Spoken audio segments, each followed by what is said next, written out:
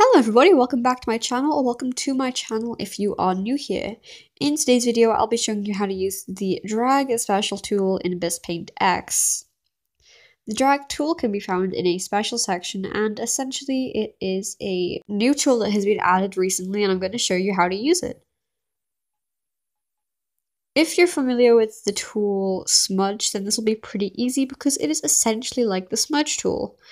I'm going to do some little scribbles here and then we shall try it out. So go right here to the special section, click on that and you will see down here a menu will pop up and there'll be a good few types. There's drag, shrink, expand, smoothen and revert. Of course, we're going to want to be using the drag. You can change the pen if you want, but liquify pen is the automatic one here, and it's the best one for using in my opinion. You can change the thickness of it right here too. Now let's try it out.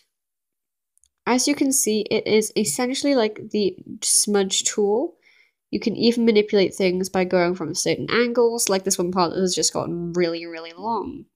Unlike the smudge tool though, you can't really get rid of things like this, and it takes a lot more effort to try and remove anything at all.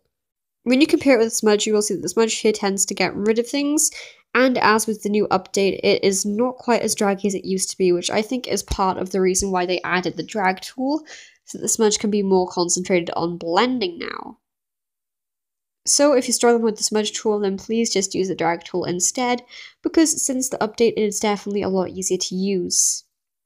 Then, when you are done, you can just leave it and go into a different layer or something, but if you would like to revert while you're done because you're not quite happy with it, then just click on the revert eraser right here and just go over the parts that you want to remove the drag effect from.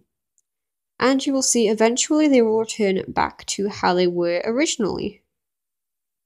Although because we went out of this menu, we can't revert past what we did at that point, so this bit will stay like that because we went out of the menu temporarily.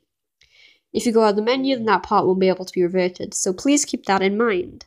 Overall, it is a really nice tool and I think is very, very funky. You can use it to make a lot of funky swirls and effects and cool backgrounds too. That was how to use the drag tool. I hope that you enjoyed and if you did, maybe consider supporting. Thanks for watching. Bye!